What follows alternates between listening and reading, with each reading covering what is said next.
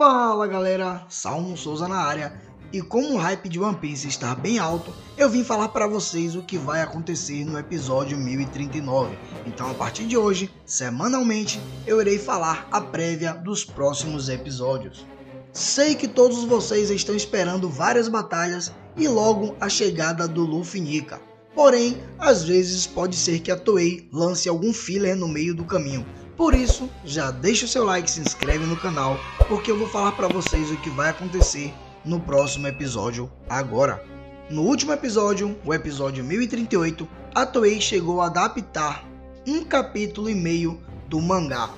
Porém, isso é algo raro de acontecer. Normalmente, a Toei adapta um capítulo ou menos. Por isso, a partir de agora, eu vou te dizer o que vai acontecer no episódio 1039. E tem três coisas muito importantes para acontecer aí.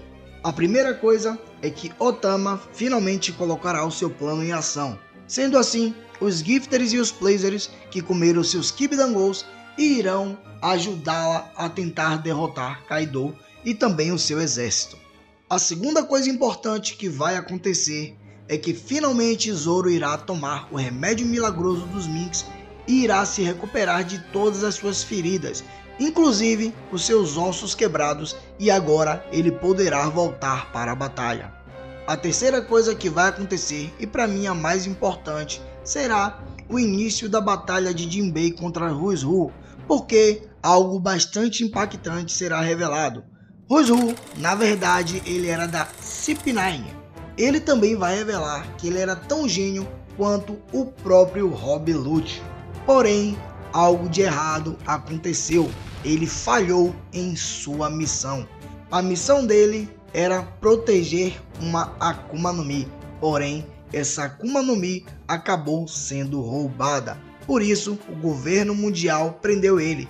Porém, ele conseguiu escapar. Mas o mais interessante disso tudo é que a Akuma no Mi que ele tinha sido encarregado de proteger foi a mesma Akuma no Mi que Luffy comeu.